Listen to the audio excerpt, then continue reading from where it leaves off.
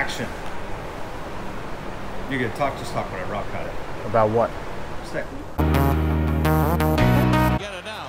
Race through the middle for Hanson. He did get in with the backhander. He scores. I like it a lot.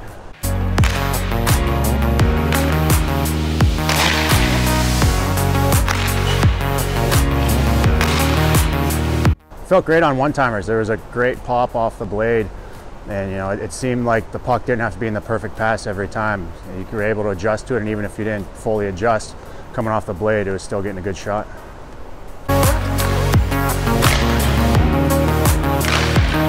I was able to get the puck off real quickly. You know, it didn't have to be in the middle of my blade every time. I had a couple of shots off the toe, and I still felt like I was getting some good strength behind it, and it was going where I wanted it to go.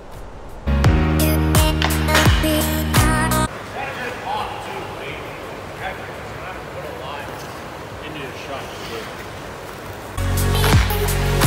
how light it is, it's amazing the actual feel that you get on your blade of the puck. That was one of the concerns in the locker room when I picked it up was how light it was. Normally you lose the feel on the blade, but it feels great. I like it. It's amazing really how light it is and how great the puck feels on the blade.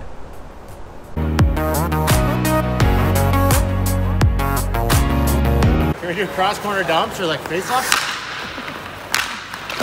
Hold on. Skate up to the net, rip a flap ball. Or like skate closer to the net. Because I don't want that light in it. Perfect. Shit, do it again. You said it's perfect. Bad camera skills. You get that one? I got that one, I think.